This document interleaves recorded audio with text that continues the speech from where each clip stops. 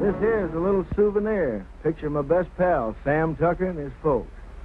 Believe me, they don't come no better. Only when old Sam gets an idea in that hard head of his, ain't no room for nothing else. Know that little San Pedro place down near the river? I heard of it. I ain't never seen it. Well, it belongs to the boss, too. Old Lige at the commissary was telling me it's for rent. It's been laying out there now for three years. It should be as rich as mud. It's been laying out all that time. It'll take a whole year to clear it off. Don't look like no house tall to me. The house don't seem like nothing extra. Seems like extra one thing. Pretty darn extra bad. I reckon I was thinking too hard about the land. I plumb forgot about the house. My wife will likely be over soon to borrow some of your well water. So that's what you come for.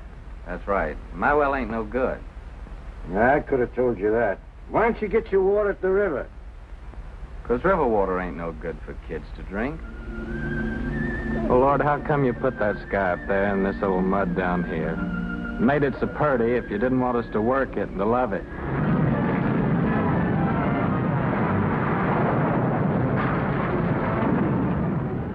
Oh, Sam. Hey, Sam Tucker, you know what this reminds me of? reminds me of 43 years ago with your grandpappy Fayette.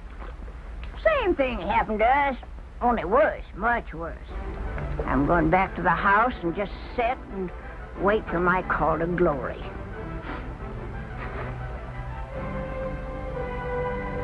Yeah. Spring's gonna come a little early this year, honey.